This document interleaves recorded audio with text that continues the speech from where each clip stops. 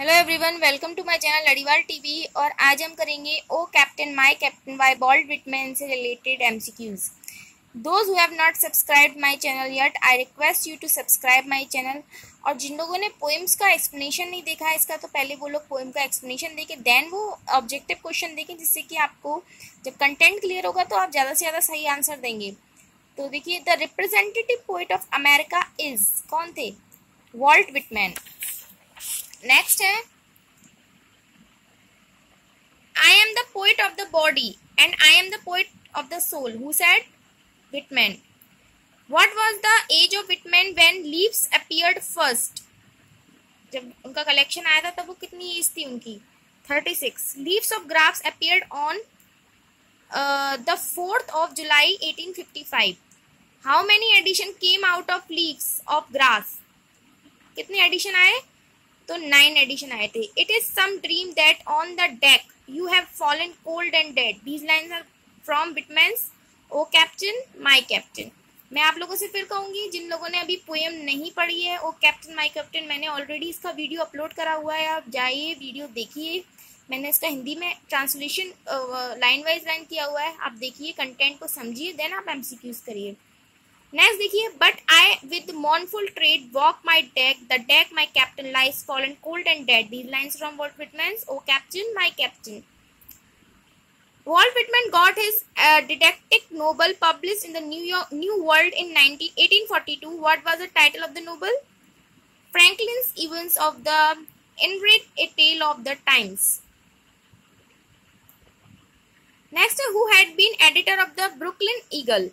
Brooklyn Eagle का editor कौन थे? Walt Whitman.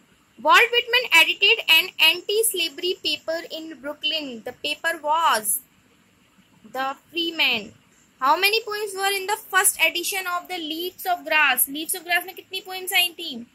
तो इसमें है ट्वेल्व ट्वेल्व पोइम्स आई थी।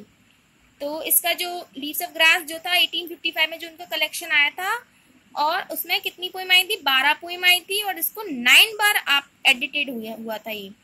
The song, the first song of myself present is symbolic man of 19th century.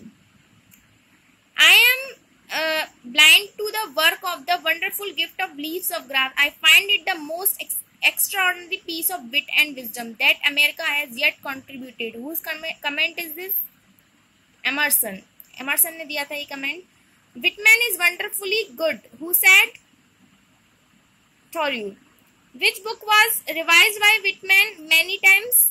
Leaves of Grass. In 1883, the first biography entitled Walt Whitman's appeared. Who wrote in? Richard M. Buck. Next, uh, the first edition Leaves of Grass appeared in 1855. Leaves of Grass is book on democracy. The poem O Captain, My Captain appeared in 1865. O Captain, My Captain is Whitman's elegy from Leaves of Grass. O Captain, My Captain is an elegy on the death of Abraham Lincoln मैंने आपको poem में बताया था Abraham Lincoln की के ऊपर ये elegy उन्होंने लिखी थी। नेक्स्ट है आपका Abraham Lincoln was a president of America from ये क्वेश्चन बहुत ज़्यादा इंपॉर्टेंट है। 1860 से 1865 तक वो प्रेसिडेंट नहीं थे। Lincoln wants to make an end of slavery.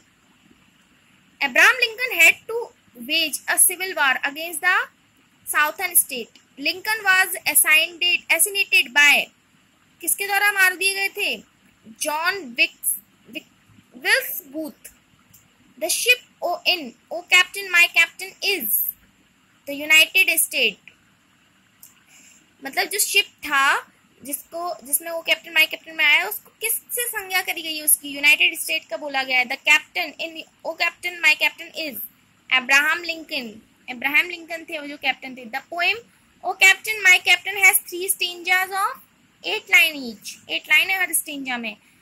My captain does not answer his his lips are pale and still. My father does not feel my arm. He has no dash nor will क्या नहीं था उसके पास? Pulse pulse की pulse के ऊपर भी काफ़ी बात करी है उन्होंने पोइम में।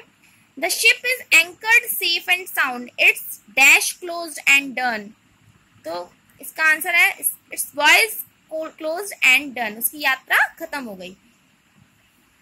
तो आज हमने एमसीक्यूज करे, O captain my captain poem के। अगर आपको मेरा वीडियो पसंद आता है तो लाइक करें।